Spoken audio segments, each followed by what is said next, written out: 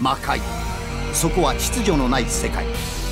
魔界にとって無秩序こそが最良の法律であった。おのずと住み分けが行われ魔界全体のバランスが保たれていたのである。しかし突如魔界に大きな変化が起きた。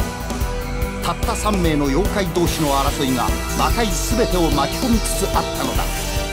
ライゼンヨミムクロ。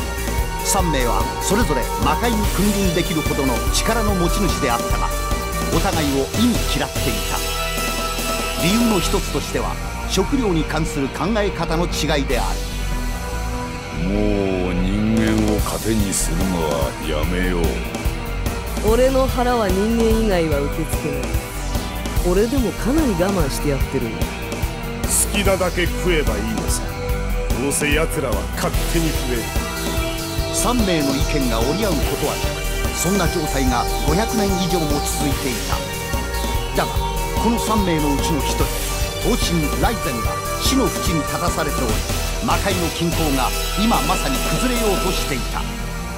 そして死期の迫ったライゼンの命を受けた死者がユウスケのもとを訪れライゼンこそがユウスケの父親だと告げた。そして共に魔界で戦ってほしいと言い残して去った。一方時を同じくして黄泉の使者がクラマにムクロの使者が比叡にそれぞれ接触していた。それから1ヶ月後ユウスケクラマ比叡は魔界へと向かった。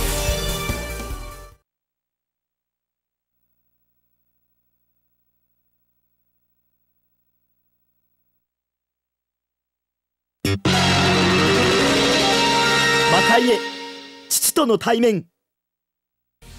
ユウスケはライゼンの使者の話に応じ魔界へと足を踏み入れた。ライゼンの城に案内されいよいよユウスケの父親と名乗るライゼンと対面する。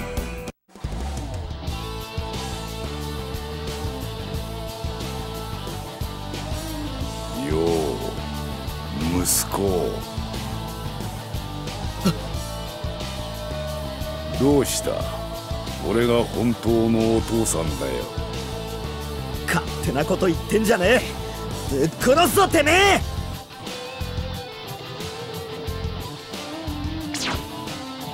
うわ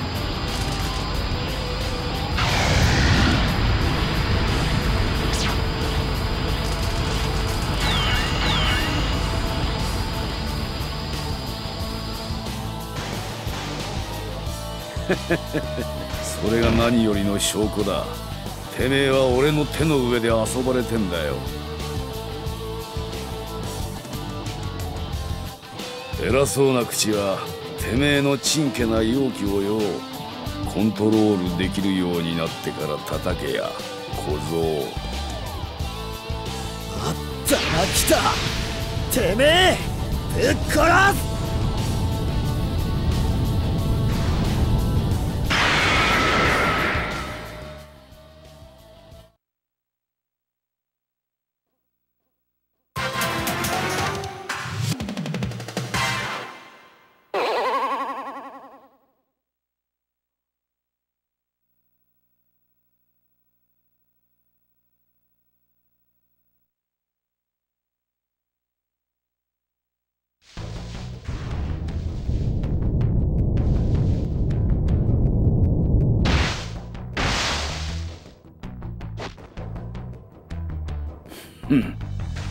筋と度胸はなかなかのもんだ。だが今のてめえじゃ俺は倒せねえのさ。上等だ。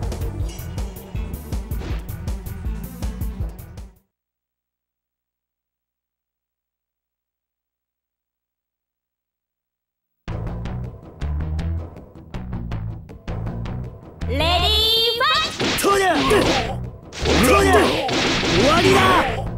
とりゃとりゃとりゃとりゃとりゃとりゃとりゃとりゃ終わりだ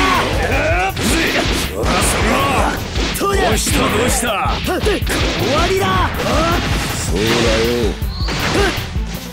とりゃ終終わりだ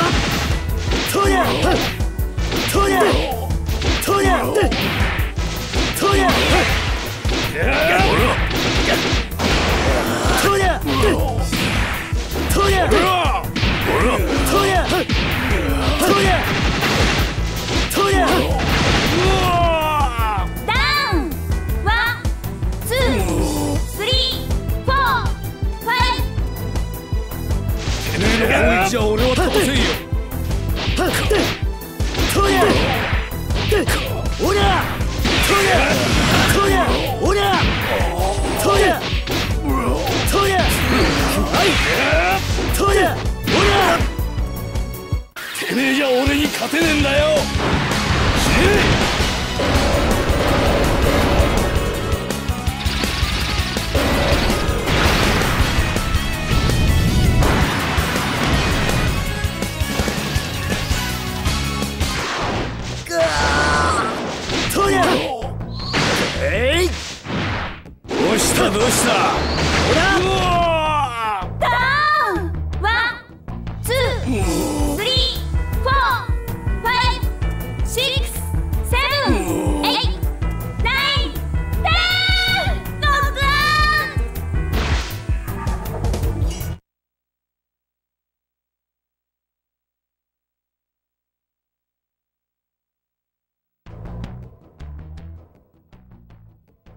やりゃできるじゃねえか。気に入ったぜ。おい息子よく聞け。俺は間もなく死ぬ。あ？急に何言ってんだよてめえ。いいから黙って聞け。俺が死ねば黄泉とムクロの全面戦争になる。ムクロ黄泉とも最初は感情だけで争っていたが今は違う。ムクロはむしろお前と気が合うかもしれねえ。今の魔界が好きなやつだからな。霊界や人間界には干渉しない。だが黄泉には気をつけろ。奴は霊界も人間界も支配する気だ。おい！親父！腹減ったな。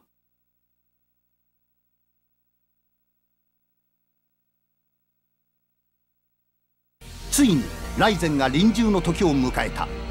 そしてライゼンの死後魔界の均衡は崩れた。一触即発の情勢の中ユウスケは意外な提案をしようとしていた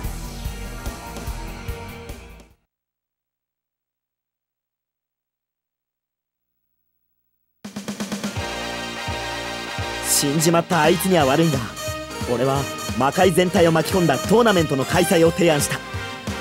国を捨てて大会に臨んできたヨミあいつは俺にどうしようもねえグレイの力の差を見せつけてきやがったぜ。次回俺の力これが全てだ。こうなったらやるしかねえ。